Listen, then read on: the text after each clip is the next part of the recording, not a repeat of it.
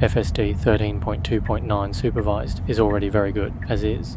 You can have it drive you for hours without you doing anything, but sometimes, just sometimes, it behaves oddly. Despite it driving perfectly in far more complex situations, it somehow struggles with some seemingly simple tasks, and it can be dangerous. That's why it's still called supervised and needs a human to watch carefully and take over at any second. So be mindful of these situations. The following are all the issues I have found with FSD version 13 so far. First one, among all the issues, this one is the most bizarre. It's happened a few times over the past month that I've been using version 13. In my case, it always happens in a 50 km per hour zone when there are no lanes marked on the road. Watch it driving normally, all of a sudden, when a white BMW turns into the same street, FSD starts driving towards it. I don't know what would have happened if I didn't intervene, but I had to take over. I've checked the video over and over, but I have no clue why it happened. And here is another example driving into the oncoming lane. There is even a sign saying, keep left. I can't find any reason for it to drive in the wrong lane.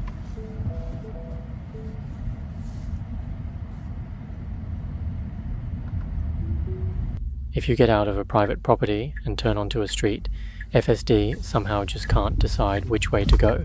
There's a chance it will drive into the oncoming lane. It's something version 13 does. It drives into the oncoming lane. This is very strange behavior as well, and leaves us all wondering why, especially when it can handle far more complex situations. FSD is mostly very good at the roundabout, but I think it treats every roundabout like a very busy one, especially at small roundabouts. Look when we head towards this small roundabout, there's an SUV on the right slowly turning, but FSD's like, nah, we can make it.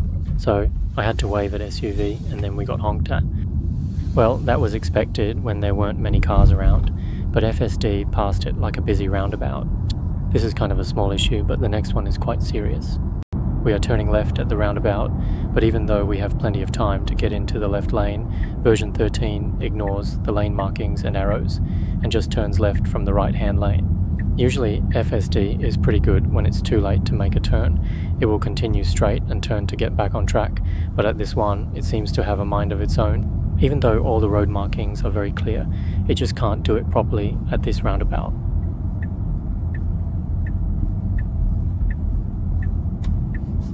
This reminds me of a situation you can see here, where we need to turn right onto the highway in about one kilometre. I wanted to signal for a right turn, but then I thought, let's see what it does this time, because I know that at this intersection, version 13 always has issues. It's the same here, all the traffic signs are clear and the navigation is explicit, but it doesn't do anything. There aren't any cars blocking on the right either. It continues going straight. It strangely makes a U-turn from the front, but at least it doesn't turn somewhere it shouldn't like in the previous clip. Sometimes it can make a perfect turn here, but other times it will do a U-turn like this. It's different every time. Same stuff here. We are about to turn left in around 800 meters. No cars on the right, but it's still not switching. We need to turn right shortly after the traffic lights. It would be better to switch lanes beforehand, as this is a busy road. If there were a lot of cars, we could have missed the turn. Watch how late it moves over. It waits until the last second to turn. It manages to do it, but switching lanes a bit earlier would be much better. These are some things FSD does quite often. For example, as shown in the last clip, it ignores the navigation and misses the turn. Sometimes it misses the turn because it's blocked by traffic, as it tends to switch lanes quite late. Other small issues are more like a personal preference and the way I use current version of FSD for example, FSD tends to stop a little too close to the cars in front of it. I think the way Autopilot does it is the best. Autopilot usually keeps more space when stopping. Also, version 13 can't really keep in the middle of the lane. It's always close to either side. And in some situations, it doesn't indicate. It definitely doesn't indicate when exiting a roundabout, but not a big deal here. Version 13 sometimes takes over slow moving cars, but a lot of the time just waits behind them Using the pedal to accelerate will push it to overtake, or you can manually indicate. You can also indicate for FSD to switch lanes in preparation for turning. This is to prevent it missing a turn, which it sometimes does. It is better to turn on FSD when the car has already hit the road, not while in park. In most cases you will be fine letting FSD drive out of the parking lot, but occasionally you might have a difficult time. It's also a good idea to take over early when you are about to arrive at your destination. It will usually try to find an empty spot to park, but it's just not as good as version 14 in the US. I've always been a person who loves to drive, but the feeling of knowing that you can sit back and relax at the push of a button and simply watch as FSD drives through all kinds of roads. You will have to try it for a bit to realise how much you come to depend on it. You will never want to go back to driving without it. I am using it daily, and when I switch to driving the 2021 Model 3, at times I will question it for a second. Why aren't you turning yet? You will feel spoilt in a very short time as you become used to it. If you feel stressed while driving around the city, just get it. It does a phenomenal job in complex scenarios when there are a lot of people, cars, and bikes moving around you. If you mainly drive on the highway, I think autopilot is better value. It's free it always keeps to the maximum speed that you set and it will stop and go with the flow of traffic. It's good enough to reduce tiredness.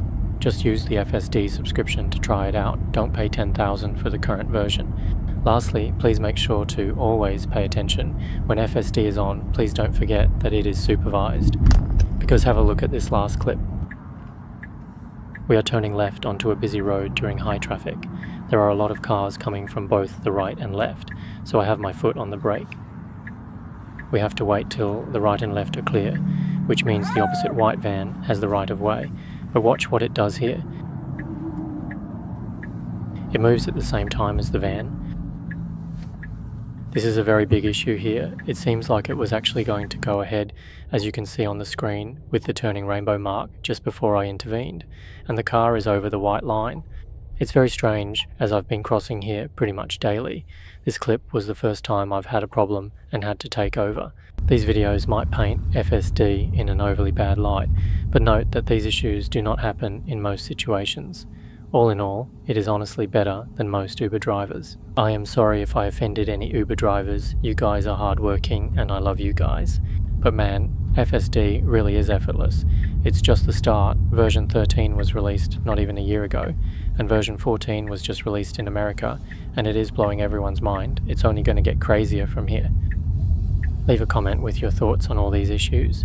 If you're using version 13 in Australia, I would be interested to hear from you. Have you had any problems that I didn't mention? If you've enjoyed the video, please like and subscribe for similar content. Catch you later.